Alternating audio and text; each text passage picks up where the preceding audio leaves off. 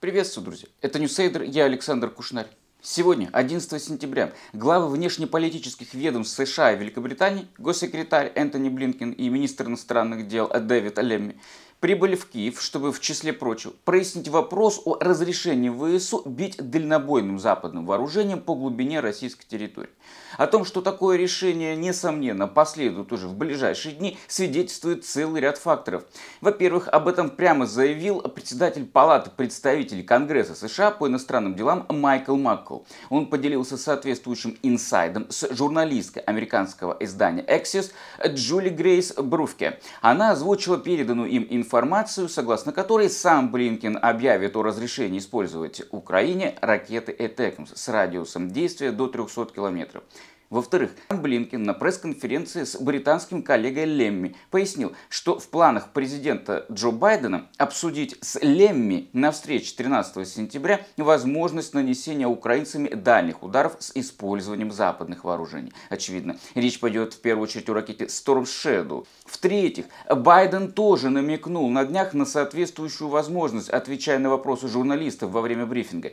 Один из этих журналистов как раз спросил, снимет ли глава американского исламского государства ограничения на эксплуатацию Украины оружия большой дальности по российской территории. На что хозяин Навального кабинета сказал, мы прямо сейчас это решаем, процитировал его корреспондент. Наконец, следует иметь в виду, что вместе с Блинкиным и Леми в Украину сегодня, 11 сентября, прибыл экс-главком ВСУ Валерий Залужный, который сейчас находится в должности посла Украины в Британии. Его появление означает, что будут обсуждаться не только чрезвычайно значимые, но и чрезвычайно деликатные темы, касающиеся поддержки Киева. Деликатные настолько, что разговор с глазу на глаз был бы более предпочтительным вариантом, нежели видеозвонок. Решение о том, чтобы позволить ВСУ бить по российской территории ракетами «Этекмс» и аналогами, это не просто щелчок пальцев, а это разработка плана, который будет содержать множество нюансов. Среди них целеуказания для экипажей, запускающих соответствующие дальнобойные вооружения. Какие это будут целеуказания и кто их будет давать? Ясно ведь, что на глубине 200 километров у ВСУ не так много возможностей, ну, по крайней мере, собственных возможностей, наблюдать за важными активами России в режиме реального времени. Но такие возможности есть у западных партнеров. Теперь предстоит решить, как именно эти возможности будут реализовываться, учитывая, что это станет первым случаем прямой поддержки со стороны Запада ударов по российской территории ракетами западного же производства. Блинкен в интервью Sky News совершенно не зря дал одно важное разъяснение по этому поводу. По его словам, в Вашингтоне делали все, чтобы украинцы вовремя получали все необходимое для эффективного отпора российской агрессии. Но одновременно, по его словам, там всегда вынуждены были учитывать разные факторы, среди которых это, а вот, например, способны ли ВСУ в принципе использовать и обслуживать сложные системы, передаваемые странами НАТО. Цитата. «Когда мы вмешиваемся, мы хотим убедиться, что это реально поможет украинцам достигать их цели», сказал госсекретарь.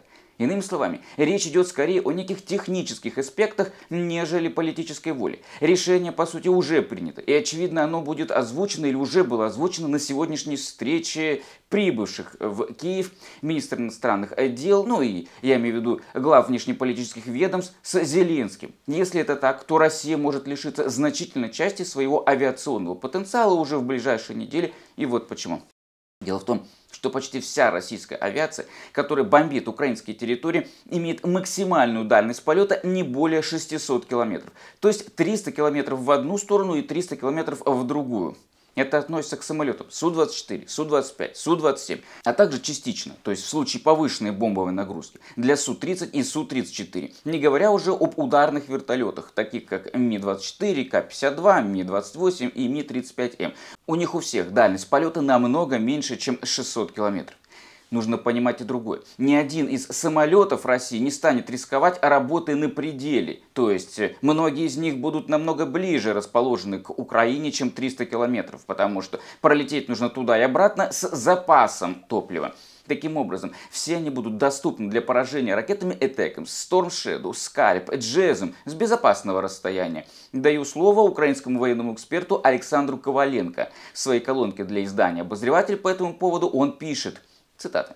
Авиабазы в районе Ейска, Курска, Воронежа, Морозовска и других российских городов продолжают активно эксплуатироваться не только для нужд вездесущих Су-34, но также и для Су-25, Су-24 и других. Если бы Украина имела разрешение на нанесение ударов по всем этим базам ракетами западного производства, то Россия лишилась бы возможности активно использовать именно эти 90% авиации, которую она никуда не отводила. А если бы отвела, то попросту не имела бы шансов долететь до границы с Украиной в полной боевой нагрузке. В свою очередь, в средней зоне поражения, за пределами 300 километров от границы, у России остается только 6 аэродромов, которые могли бы использовать Су-34 и Су-35 для нанесения ударов по Украине. Но в основном в ближней приграничной зоне, так как дальности полета с полной нагрузкой не хватило бы.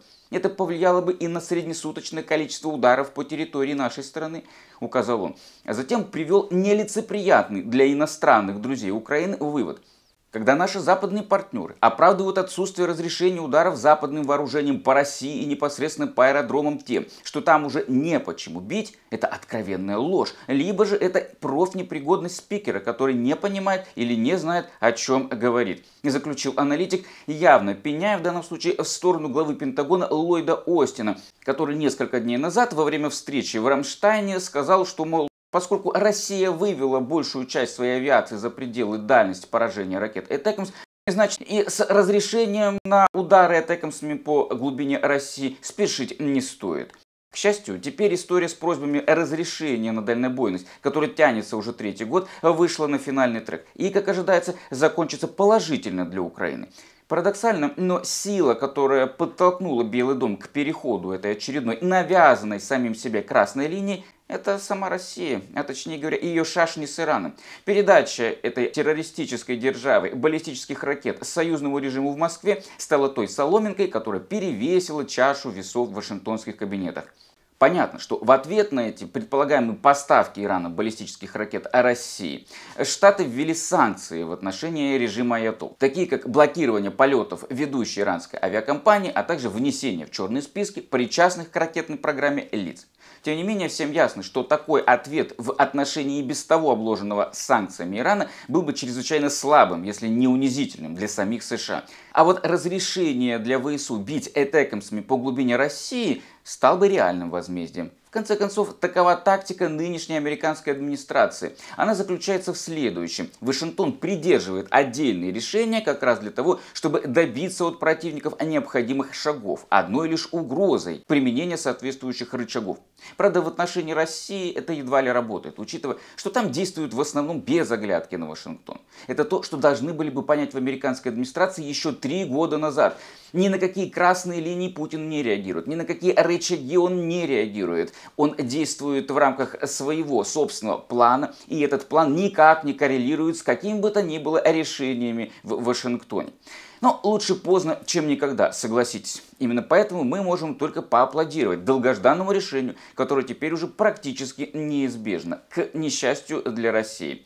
В Кремле уже смирились с этим и ожидаемо разразились угрозами. Пресс-секретарь бучанского мясника Владимира Путина Дмитрий Песков заявил, что Москва не оставит без ответа возможность снятия Вашингтоном ограничений на использование ВСУ, предоставленных украинцам американских дальнобойных ракет для ударов по целям в России. Цитата. Он, то есть ответ, будет соответствующим, сказал Песков, добавив при этом, что на все эти действия специальная военная операция и является ответом. Хочу его разочаровать. Все возможные инструменты агрессии Россия в этой войне уже использовала. Ну, кроме разве что и ядерного оружия, которое она, разумеется, не станет применять в ответ на этекмс, летящие по дальним тылам в России. Более того, мы уже многократно слышали аналогичные угрозы со стороны российских властей на каждое новое милитарное решение со стороны Штатов и их союзников. Но на данный момент, как известно, Путин не смог удивить мир ничем, разве что несколькими эпизодами особенно жестокого террора против мирного населения. Проще говоря, Россия выжила из себя все, что она могла в плане террора. А вот Запад, откровенно говоря, даже не начинал по-настоящему помогать украинцам. Attacms и Storm Shadow станут отличным подспорьем для ВСУ в том, чтобы отогнать российскую авиацию и ослабить один из ключевых факторов доминирования России на поле боя. Спасибо, друзья, за то, что остаетесь с нами. Мы сейчас ведем чрезвычайно важный сбор на дроны, которые позволят обманывать российские ПВО и охотиться за вражескими беспилотниками-разведчиками, тем самым ослепляя Россию и не давая ей возможность наводить свои ракеты на передовую и тылы. Эти дроны производит и эксплуатирует э, команда Константина Мельника, специалиста по дальним беспилотным системам Украины, который часто появляется у нас на канале в качестве эксперта. Если вы хотите помочь команде собрать средства на производство этих чрезвычайно важных дронов, которые были разработаны командой Константина Мельника, вы можете переводить пожертвования через литовскую благотворительную организацию Хаплон Foundation, реквизит которой я даю в описании к этому видео. Банковский счет и PayPal счет. К настоящему моменту мы собрали уже более 21 тысячи евро из 49 850 евро. Если вы хотите поддержать наш канал и вам нравится то, что он делает, вы можете сделать это, переводя средства через ресурсы, ссылки на которые я даю опять же в описании. PayPal, Patreon, BuyMeCoffee, банковский счет с реквизитами и супер спасибо от YouTube в виде отдельных кнопок под каждым нашим роликом. Отдельное спасибо э, команде Игоря Ицковича, который э, за э, время существования Хаплон Foundation перевел ей более 10 тысяч евро на нужды ВСУ. Помогал Главному управлению разведки Украины и сейчас помогает команде Константина Мельника. Его э, аналитическая компания SDA помогает поднимать стартапы и развивать бизнес. Э, ссылку на сайт SDA я даю в описании к этому видео, друзья. Всем, кто помогает украинской армии, низкий поклон. Ваша помощь спасает жизни. И отдельно благодарность всем, кто помогает нашему каналу, ведь он существует в значительной степени благодаря вашей поддержке, друзья. Мира и здоровья всем. До скорого.